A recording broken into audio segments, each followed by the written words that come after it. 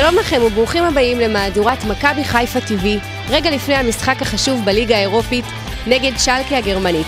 היום במהדורה, מכבי חיפה מפסידה בדרבי החיפאי אחרי עשר שנים. מסיבת עיתונאים ואימון מסכם לקראת שלקה. בכל מקרה אנחנו חושבים ששלקה היא קבוצה מצוינת בכל הרכב שלא תעלה. וקבוצת הנוער של המועדון זוכה בטורניר ה-IMG היוקרתי בארצות הברית. אנחנו מתחילים. בשבת האחרונה רשמה הקבוצה הפסד ראשון לאחר עשר שנים ליריבה העירונית, הפועל חיפה. הנה תקציר המשחק. כדור הולך ימינה לפרד, מול טרטצקי, ורד עובר אותו בקלות, פלאשווילי,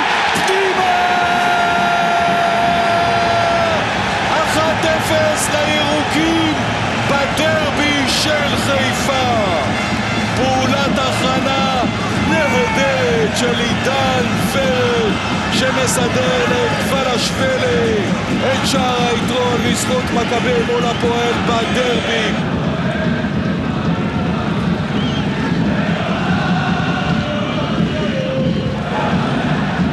כדור הזה למרכז, הנה השוויון!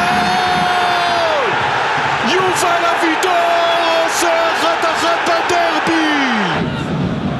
עפיפו של בוליאן, אבידור! שתיים אחת!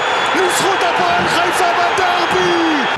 טרטצקי יכול לצאת קדימה, ימפולסקי במרדף, הכדור הולך לאבידור, מגיע אליו, אין שם נבדל, גלושוביץ' מקבל את זה, דנקוביץ' איתו, עוד ניסיון של גלושוביץ', פנימה!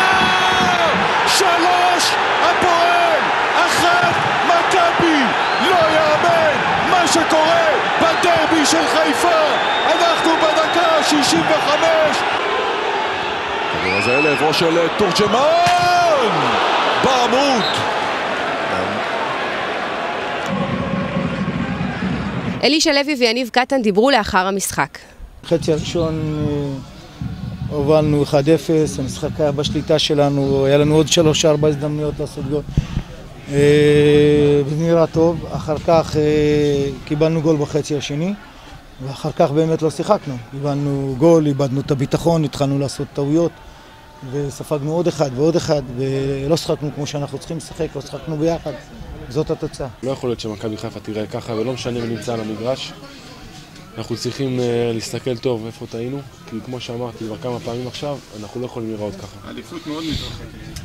אה, נו, בחייך, אנחנו לא, לא חושבים על זה בכלל. אנחנו לא יכולים להגיע לדרבי ולהפסיד בצורה כזו, יש לנו קהל אוהדים כל כך גדול, יש לנו אחריות, יש uh, נשיא שעומד מאחורינו. יש הרבה דברים שאנחנו צריכים לתקן. תשמע, אני לא אעמוד עכשיו ואגיד את, uh, את הטעויות, אני גם לא, לא הסמכות לדברים האלו. אני יכול להגיד לכם שאיך שאני רואה את הדברים בגדול, ואני נמצא פה הרבה שנים, בצורה הזו אסור לנו להפסיד, ואנחנו צריכים לבדוק את עצמנו טוב טוב. ברביעי תפגוש הקבוצה בפעם השנייה את שלקה הגרמנית, כאן בבית בקריית אליעזר. המשחק הקודם מסתיים בתוצאה 2-1 לגרמנים, הפעם אנחנו מקווים שזה ייגמר בניצחון ירוק, שיעניק לנו את הכרטיס לשלב 32 הגדולות של הליגה האירופית. אגב, גם תוצאת תיקו בין סטיאבה בוקרסט לאייקל ארנקה תעלה את מכבי חיפה לשלב הבא ללא קשר לתוצאת המשחק נגד שלקה. אבל כמובן שבקבוצה מעדיפים לעלות בצורה חלקה אחרי ניצחון. כרגע עורכת הקבוצה את האימון המסכם לקראת המשחק. רגע לפני שהתחיל האימון התקיימה גם מסיבת עיתונאים המסורתית, בה דיברו אלישע לוי וגוסטבו בוקולי. סיכוי בוודאי שיש, אנחנו בבית קבוצה מאוד מאוד חזקה, שני המשחקים אה, שהיו לנו בבית אנחנו ניצחנו אותם. אה, זה נכון ששלקה היא קבוצה אה, מצוינת, מקום שני בבונדסליגה, אנחנו שומעים כל מיני, בגלל שלמעשה שלקה הבטיחה את העלייה שלה, אנחנו שומעים שהם יבואו עם שחקן כזה או שחקן אחר, בכל מקרה אנחנו חושבים ששלקה היא קבוצה מצוינת בכל הרכב שהיא לא תעלה ושיש לנו סיכוי, אני מאוד מקווה שאנחנו נבוא, נתמודד, נדע לבוא למשחק חדש ולתקווה חדשה. זה לא קל מה שאנחנו עוברים היום ואני כמו ותיק, אני תמיד מנסה לחזור לשחקנים החדשים ומה שקרה בחדר הבשה, אני, אני חשבתי לעשות משהו כדי לחזור להם, לעשות להם להרגיש שכן הם יכולים להשתפר, כן הם יכולים לתת יותר, כן הם, הם יכולים, אנחנו ביחד, לא אחד אשם, לא שתיים, זה הקבוצה בעצמו, רק אם אנחנו ביחד אנחנו יכולים לצאת, ואני בטוח שביום יום אנחנו משתפרים את זה ובקרוב אני בטוח שכבר אנחנו יוצאים מהמצב הזה. המשחק החל בשעה עשר וחמישה ואיצטדיון קריית אליעזר צפוי להיות מלא. כ-600 כרטיסים עדיין נותרו למכירה, וזה הזמן של מי שעוד לא רכש כרטיס ללכת ולקנות, כי האיצטדיון פשוט חייב להיות מלא ביום רביעי כדי לדחוף את הקבוצה קדימה לעבר הניצחון. קבוצת הנוער של מועדון הכדורגל מכבי חיפה הביאה השבוע כבוד גדול למועדון כאשר זכתה בטורניר ה-IMG היוקרתי בארצות הברית בהשתתפות קבוצות ממקסיקו, קולומביה וארצות הברית.